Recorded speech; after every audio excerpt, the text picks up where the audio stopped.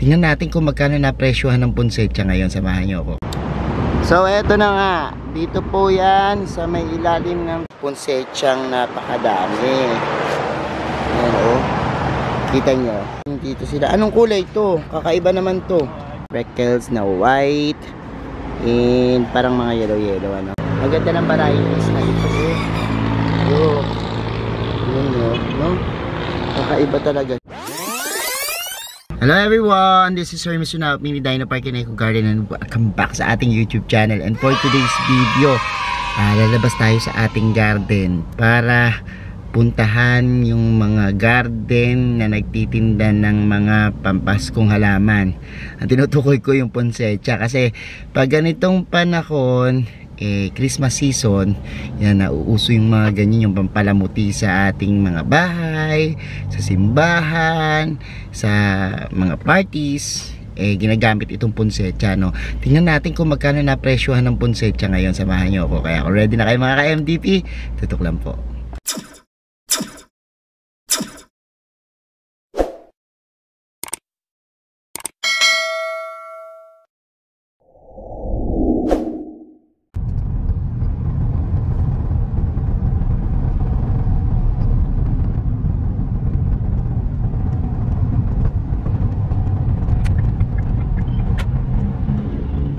And we're back mga ka-MDP at ngayon nga po nandito tayo sa may tabang ano. Dito tayo nakakita ng mga magagandang halaman. Ah, ito po, makita nyo yung tulay na yan. Yung tulay ng tabang. Tapos papunta na tayo dyan no, sa NLEX. Yan po. Ah, meron ako binibilan dito lagi ng mga halaman. Mga kaibigan ko. Ah, makikita nyo no. At ah, puntahan natin, tanong natin kung magkano na ngayon yung presyo ka ng mga ponsetsa. Kasi sa kanila, alam ko mura yung mga uh, halamang ponsetsa. Kaya tingnan natin. So eto na nga, dito po yan sa may ilalim ng tulay, malapit. Makita nyo na po itong uh, TFGB, no? Landscaping Services. Uh, dito po maraming silang mga ornamental plants, no? Na makikita kayo. Tapos, ayan no, yun yung mga usong-usong halaman ngayong season. Yung mga mabubulaklak. Makita nyo sa kanila. And puntahan natin yung ating kaibigan. Hello! John John. Saan? yung nanay. Nandyan. Hello. Tingin lang kami ha. So ayan. Dito nyo makikita yung mga ponsetsang napakadami.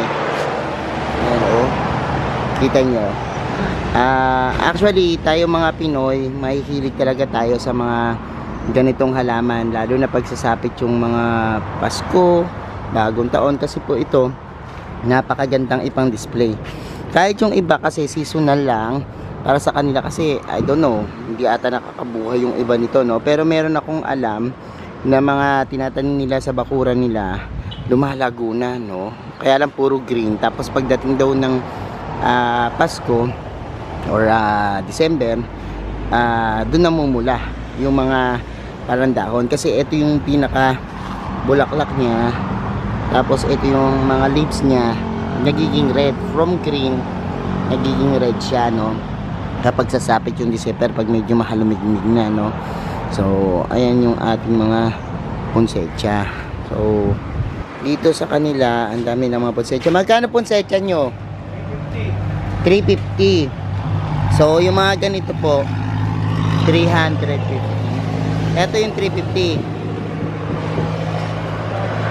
Ah, yan. Oh, yung logo, no? Ganda na, oh. Malago na po. 350, no? Ah, marami na siyang mga stem. Tapos, ayan, oh, kita nyo. Nakaano na siya. Tapos, yung mga, eh, pero pag ganito malaki, ganun din. 400. Ah, 400. So, depende sa, ayun din, 400. So, tingnan muna natin itong 400 nila, no? Ang laki din, no? Napakaganda, no? So, ayan. Ang kapal na po, 400. No? Tingnan natin yung mga, eto rin 400 to. Eto para mga puno-puno na po, oh. Tapos, ang dami talaga yung mga bulaklak. Sa isang uh, ganito niya, ah, uh, hitik na hitik, ano? 1, 2, 3, 4, 5, 6, 7. Almost 7 na na mga bulaklak no or uh, I think this one yung bulaklak mga dahon na nagpula-pula, no? So, tingnan pa natin yung mga ponsecha nila. Ah, yan, napakaganda, no? Oh, ay, merong ibang klaseng ah, kulay, no? Mapink naman siya. Ponsecha na kulay pink. Usually nakikita natin yung kulay Christmas, red and green eh. Pero meron din ditong mga pink na parang ah, variegated. Oh, ayan. Kasi parang may puti-puti ano. So, may iba-iba palang klase nito. Ayun, ayun, meron dun ibang klase. Tara, tingnan natin. So, eto, meron din dito sila. Anong kulay to? Kakaiba naman to. Bago lang yan. Bago lang rin, ano? Tsura. So, merong, eto, ayan, ayan pala yun, ayun. Mga kulot naman. Kulot na ponsecha, bagong varieties, ano? Ang ganda. Pag ganito, magkano yung ganito? 400 din. Ito. Yung kulot, Yung kulot 500. 500. 500 naman po yung mga curly-curly na ah, yan, ponsecha, mga kulot-kulot, ano? And ito naman, parang yellow. Tapos ito rin, variegated naman, no? Kita nyo. Pula, tapos merong mga sprinkles na white, and parang mga yellow-yellow, ano? Variegated. Pag variegated, Parehas din 500. Ganda. Ang gaganda oh. Iba't ibang kulay naman ito. Ito rin iba rin to. Oh, iba rin tong ano varieties na to. Ang dami palang varieties ng mga poinsettia ano. Napakaganda oh. Kita nyo, ganun din to. 500 din. Ah, ito 350 lang. Ah, Ito oh, mura lang oh. 350 lang po, ano. Napakaganda. Ah, kakaiba naman siya. Yung isang variegated niya, ganito yung kulay. Tapos pag ganito, oh, iba rin yung kulay. 350 no. Tapos may ito yung kulot na tinatawag. Kulot na poinsettia no. Kulay red siya. Tapos ang ganda. Ang ganda talaga ng variations. Ang ganda ng varieties na ito. Oh. Oh. Yun no. no? Kakaiba talaga siya. Ang daming magaganda. Ito naman puti. Puti naman po yung kulay oh. Oh, puti naman yung kulay ng poinsettia nila. So, napakadaming magaganda dito at ah, sa TTT. Actually, hindi lang po poinsettia yung meron sila dito. Meron silang mga orchids. Yan. And meron din silang mga iba't ibang house plants like Dieffenbachia na Marian. Meron sila ditong mga prayer plants. Ayan, Calathea. May mga lucky plants din po sila, no? So, marami po dito sa ah, garden nila, no? May mga bromeliads and millionaire. So, dito po mabubusog mata nyo. At ah, marami sila dito mga hanging plants din, no? Na mabibili. Para kung halimbawang ah, bibili kayo ng poinsettia, eh, damay nyo na po yung mga halaman nila dito na mga pampaswerte no kasi meron po sila dito mga bamboo and everything marami no mga spider plants din so marami sila ditong pagpipilian mga peace lily yan yung mga mabebentang halaman yan ang gaganda ng mga bulaklak nila dito ano diba Ayan. Ayan. Pakita ko sa inyo yung mga bulaklak ng orchids nila is mga orchids na bulaklak. Ayan. Ayan. Ayan. Pink. Ayan.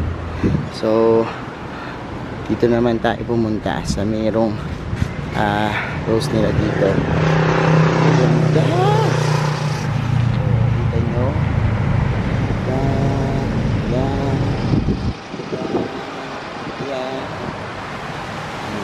Yung mga uh, bushida sila o nakatanim na rin.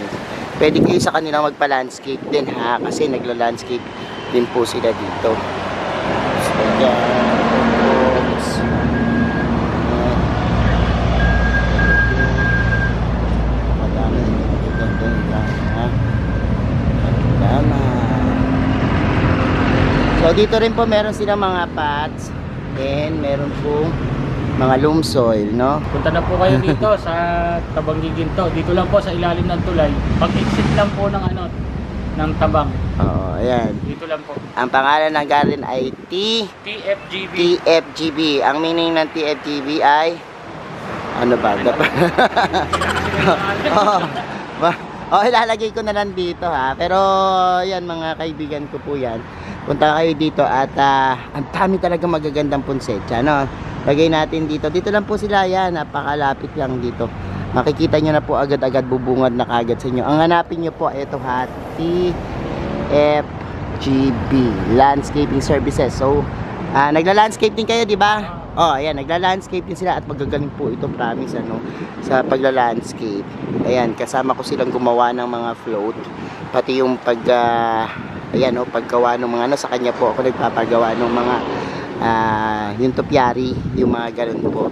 Magaling po sila, pakita ko na rin sa inyo, ha, para makita nyo yung ah, sinasabi ko. Pag gusto nyo magpakorte sa kanila po, magagaling itong mga to. Yan, sa mga kortihan ng mga hayop no? And ayan. Ayan. Magagaling po yan magkorte eh. Ayan, may mga bonsai sila dyan sa Ampalo. Tsaka, puntahan nyo yan ha. And, yan, marami kayong mapapagpilian dito. Ang gaganda. So, ayan mga ka-MDP, napanood nyo na yung pag-ikot natin dito sa TGFP ah, Landscaping Garden dito sa Maytabang ano. Punta po kayo dito dahil dito po talaga maraming magagandang mga ponsetsa no. Yung mga magdi-design po sa Pasko, yung sa kanilang bahay, ah, sa simbahan, sa mga parties at gusto niyo may touch ng Christmas, eto na po no. Dito na kayo bumili. Ang gaganda at mura, no.